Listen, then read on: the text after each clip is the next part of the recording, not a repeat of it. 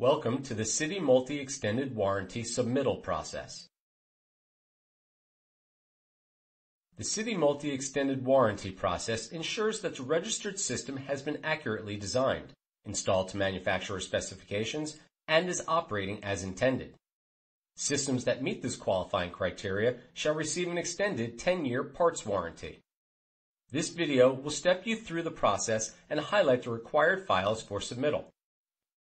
Before applying for the extended warranty, you will need to gather the following three items. The Diamond System Builder file, system information from Maintenance Tool, and one hour of runtime recorded in Maintenance Tool for each system. The Diamond System Builder file is a starting point for warranty submittal. Select Project Properties and navigate to the Extended Warranty tab. All of the required fields must be completed.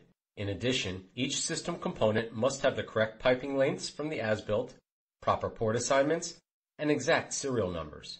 This system information must match the maintenance tool files.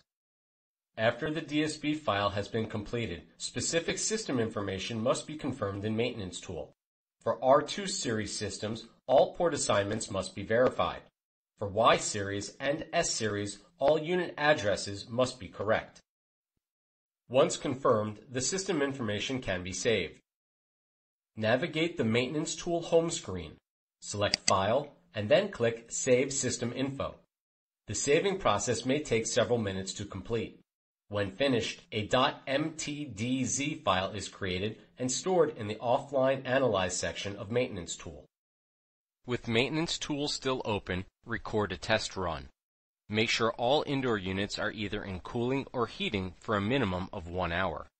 Confirm that the control mode displays ordinary, not initial. It is important that all units remain operational during this time. Additionally, controls should be locked out to prevent scheduled or occupant changes. Click Monitor, select the OC, and then click Confirm. Select Drive Operation IC. Confirm that the system mode is set to all, then select Test Run. Choose a mode given the current outdoor temperature. Adjust the set point, put the fan into high, and click Transmission to initiate the batch command. Click Yes to confirm the batch command. Then click Close. If the system is in R2, then port assignments must be checked. After the system enters test run, click the Drive Operation tab and select BC. Each connected port must be checked by closing the solenoid valves in order to monitor temperature from the indoor coils. Close the valves and click Fix. Click Transmission, and then Close. Closed ports will be indicated by a rise in temperature at the indoor coil. As you check each port, release the previous port to its normal operating position. At the conclusion of 60 minutes of runtime, click the exit icon. Rename the data as necessary and click Save.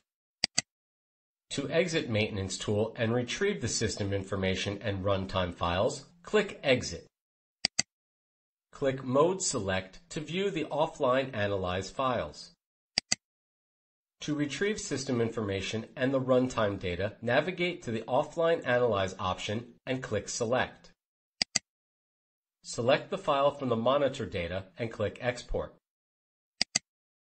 Choose the destination folder in which the file will be saved. Then click Run to send the file. Next, click System Info. Once more, select the file and click Export. Choose the destination folder and click Run to send the file. Click Exit to leave Offline Analyze. With the file saved, return to DSB and click Project Properties. Scroll to the bottom of the Extended Warranty tab and browse for the two required files.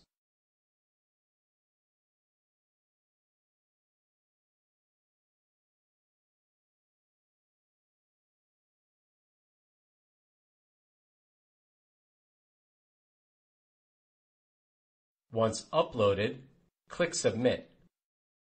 Once submitted, the extended warranty files are extracted by an area service manager and reviewed.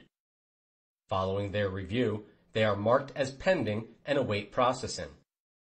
With all information confirmed, the extended warranty is processed, and the completed project file is internally archived. At the same time, an extended warranty letter is sent to the email addresses entered into DSB for the site customer, design engineer, installing contractor, and startup person. This letter should be retained by all parties as proof of the extended warranty. This concludes the City Multi Extended Warranty submittal process. Refer to mylinkdrive.com for additional resources and information.